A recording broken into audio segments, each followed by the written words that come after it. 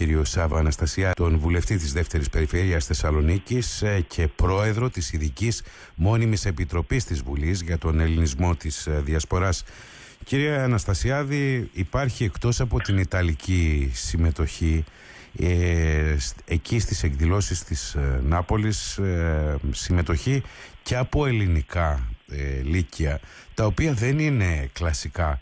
θέλω να μας πείτε για την εικόνα που πήρατε από αυτήν την συμμετοχή και αν λέει, αν εκπέμπει κάποιο μήνυμα αυτή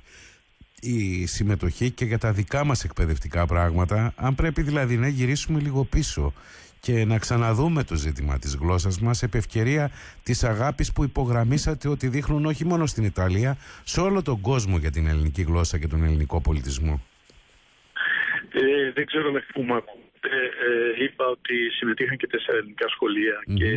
η συμμετοχή τους ήταν ε, εντυπωσιακή Ε, και πρέπει να δώσουμε συγχαρητήρια και στους δασκάλους που συμμετείχαν. Συμμετείχε και το δεύτερο γυμνάσιο. Και μίλησα εκεί με τους καθηγητές και με όλους βέβαια που συμμετειχαν Και είναι πολύ, τα παιδιά ήταν ενθουσιασμένα και είναι πολύ διδακτικό αυτό με την έννοια ότι βλέπουν παιδιά ξένα, Ιταλούς, ε, ε, μαθητές Ιταλίας προκειμένου να, να μιλούν για την ελληνική γλώσσα και να μαθαίνουν την ελληνική γλώσσα. Και αυτό είναι μια προτροπή και για τα ίδια τα παιδιά ακόμα και για τους καθηγητές. Να γλύσουμε λίγο πίσω στην κλασική παιδεία την οποία έχουμε καταλήξει που ήταν η, η, η πηγή και το και της